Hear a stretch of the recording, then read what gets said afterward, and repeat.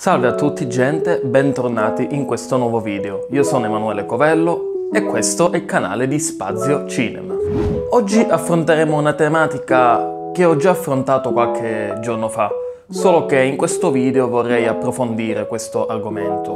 Vorrei parlare appunto del gimbal e tra l'altro vorrei anche un po' recensire quello che uso io di gimbal, ossia il Feiyutech G6 Plus. Ecco, per me questo è un tuttofare. Innanzitutto la borsetta è veramente molto elegante. Prima cosa che vi dico, il treppiedi non è incluso nell'acquisto, ecco. Questo era un treppiedi che io avevo già di mio. Devo dire che con il treppiedi il gimbal si comporta molto meglio ed è anche molto più maneggevole, quindi vi consiglio di acquistarne uno, tanto si trova a pochi euro su internet. È un normale stabilizzatore, qui ci sono tre assi, come ho già detto precedentemente nel video. Ogni asse ha un suo dovere specifico. Ad esempio, questo è l'asse del tilt. Questo deve mantenere la telecamera salda avanti. Questa invece deve mantenerla bilanciata. Centralmente né a destra né a sinistra e poi ci sta il peso madre se proprio vogliamo definirlo così manterrà praticamente la telecamera ferma nel momento in cui noi andremo a filmare un qualcosa con questo stabilizzatore.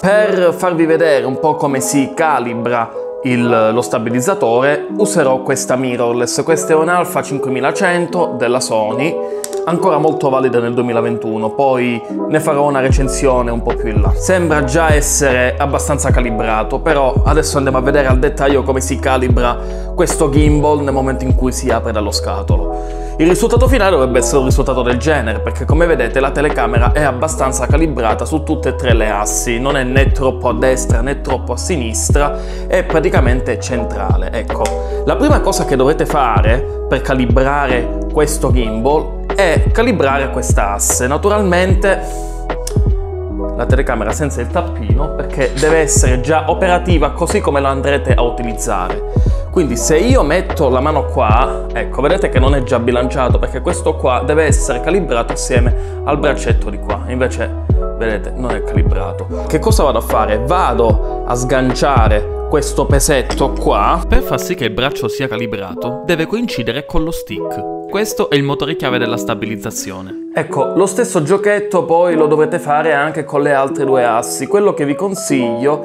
l'asse del tilt, mantenetela eh, praticamente all'estremità del basso. In questo modo la telecamera resterà più stabile. Nel momento in cui già da spento il gimbal sarà già stabile con la telecamera sopra, lo possiamo andare ad accendere.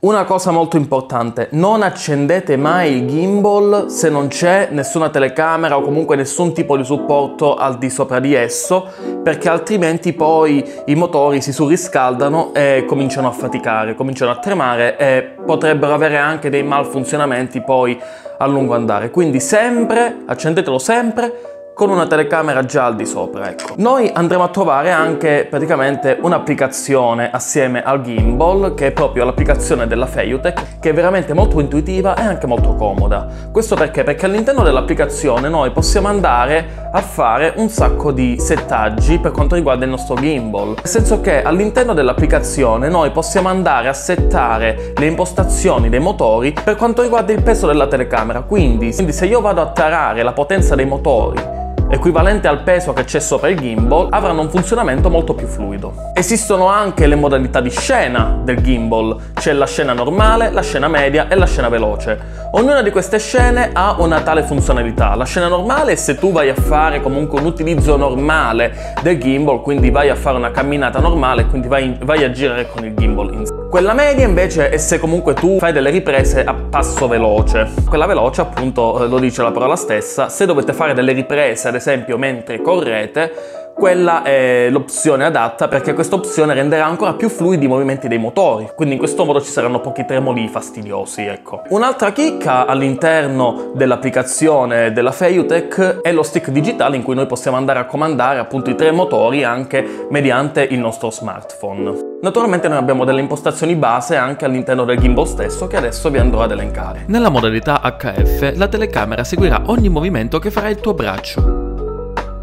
La modalità lock invece manterrà la telecamera sempre fissa su un unico asse, indipendentemente dai movimenti che andrete a fare. Nella modalità TF il motore del tilt resterà sempre immobile. Nota molto importante, questo gimbal non sopporta più di 800 grammi, quindi le cose sono due, o utilizzate lo smartphone o utilizzate una mirrorless, una GoPro, insomma telecamere che sono comunque poco pesanti, oppure potete usare, come nel mio caso, anche una reflex, una Nikon D3500 però con un obiettivo da 35 mm. In questo modo il corpo macchina e l'obiettivo fanno sì che il carico non sia troppo pesante e che quindi il G6 Plus faccia ugualmente il suo sporco dovere. Bene ragazzi, adesso non ci resta che farvi vedere qualche ripresa con il gimbal. Queste sono alcune riprese che ho fatto utilizzando la mia ragazza come modella all'interno di questo video e devo dire che per delle riprese realizzate in spiaggia, quindi con un terreno non uniforme, questo gimbal da meno di 200 euro è stato veramente molto utile. Io spero che questo video sia stato di vostro gradimento, che sia stato utile, in caso lasciate un like, iscrivetevi al canale e niente, ci vediamo al prossimo video, ciao!